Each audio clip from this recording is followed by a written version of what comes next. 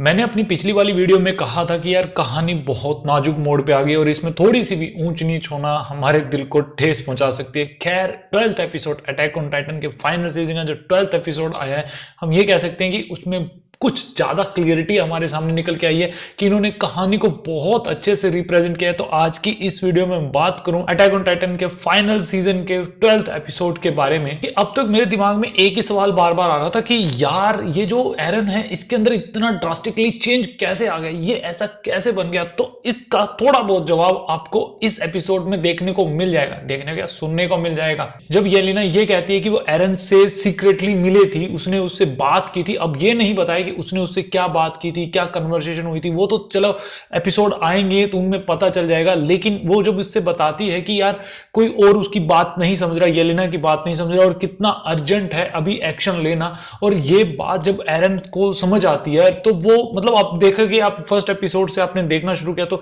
एरन वहाँ पर था, मार्ले के लोगों के बीच में था तो वहाँ से उसने कैसे हंगामा उठाया है, ये सारा का सारा जो उसने किया, कराया है, ये एलिना का और येलिना जो है वो जैक के इशारे पे चल रही है। अब तो देखो यार, आने वाले एपिसोड बताएँगे कि क्या येलिना ने जो किया या फिर जो हमें दिखाया गया वो सही था और जो मतलब जो सब हम देख रहे हैं वो सब कुछ सही है। उसके पीछे और कोई कहानी नहीं है। वैसे मेरे दिमाग में कहीं ना कहीं ये शक बार बार आ रहा है कि यार, जो जैक को पैराडाइज आइलैंड के ऊपर लाया गया है, कहीं ना कहीं उसकी कोई चाल हो सकती है। देखो, मैंने मांगा नहीं पड़ी है, सिर्फ़ और सिर्फ़ ऐसे शक हो रहा है कि यार, ये इंसान इतना सीधा तो है नहीं कि आएगा और पहले मारे लोगों को धोखा दे देगा पैराडाइज लोगों के पास आ जाएगा कि हाँ मैं तुम्हारी हेल्प करना चाहता हूँ। मुझे कहीं ना कहीं इसमें इसमें शक लग रहा है, दाल में कुछ काला लग रहा है। येलिना का एरन से मिलना, उसको बताना, एक चिंगारी की ज़रूरत और चिंगारी के तौर पे वो तो भाई साहब पूरी आग लगा देता है मारले लोगों के बीच में। पिछले तीन सीज़न में एरन के ऊपर बिल्कुल भी एक तरीके से फोकस नहीं था, बाकी के करेक्टर के ऊपर तो और ये बिल्कुल एक तरीके से देखो तो यार इसको छुपाया जा रहा था, इसके बारे में इतना कुछ नहीं दिखाया गया। वैसे मेन फोकस तो देखा जाए तो एरन के ऊपर था, लेकिन बावजूद मेन फोकस होने के, इंसान बाहर नहीं आता, ये करेक्टर हमारे सामने इतना खुल के सामने नहीं आता। लेकिन भाई साहब फोर्थ एपिसोड में जिस तरीके से ये सामने आया है, वो बहुत कमाल का है। अब देखो यार, इसको दिखाया कम गया, इसके ट्वेल्थ एपिसोड में इसको कम दिखाया गया इलेवंथ में कम दिखाया गया। बावजूद इसके, की भी मतलब इसको कम दिखाने के बावजूद हर जगह सिर्फ़ और सिर्फ़ इसी का नाम है एरन एरन एरन एरन की ही चर्चा हो रही है। एलेडिन लोगों को एक तरीके से खतरा तो मारले लोगों से है, क्योंकि वो जल्द से जल्द इनके ऊपर मतलब हमला करना चाहते हैं। और एक तरीके से एलेडिन लोगों को अपने अपने अंदर ही वो ग्रुप में बढ़ चुके हैं, बंटवारा हो चुका है। अब कुछ लोग जो है वो एरन को सपोर्ट कर रहे हैं, उनको ये यकीन है कि यार ये इंसान जो है वही हमें आगे अपना फ्यूचर डिसाइड करवा सकता है। ये इसी के ऊपर सबका फ्यूचर मतलब डिपेंडेड है एरन के ऊपर।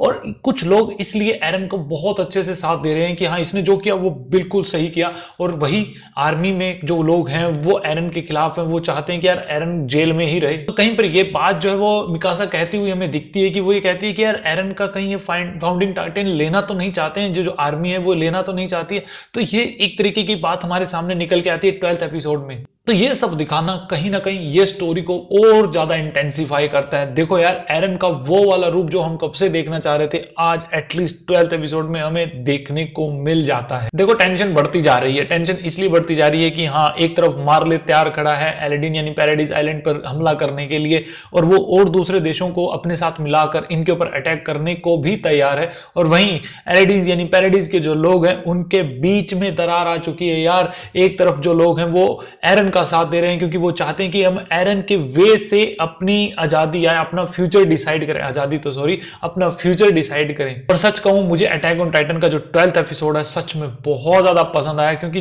जैसे इन्होंने रिप्रेजेंट किया यार कहानी को, वो बहुत कमाल के, जिस तरीके से इन्होंने बुना है यार, मेरे पास वो शब्द नहीं है। मैं आप लोगों को इसकी खूबसूरती बता सकूँ कि कमाल की अटैक ऑन टाइटन का जो ये एपिसोड आया है ट्वेल्थ एपिसोड भाई साहब क्या कहानी आई हमारे सामने?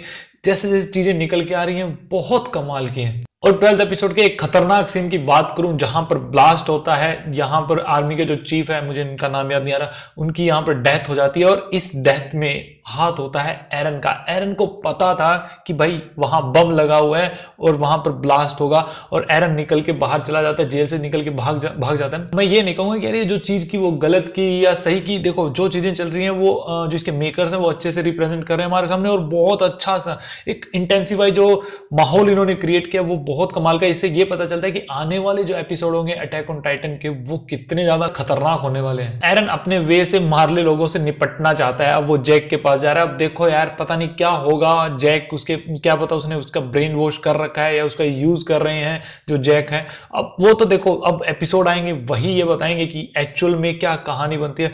बट अभी बहुत ज़्यादा क्यूरियोसिटी फिर से हो गई कि यार हाँ यार, अब क्या होगा? एक्चुअली कहानी कैसे, किस मोड पे जाके रुकने वाली है?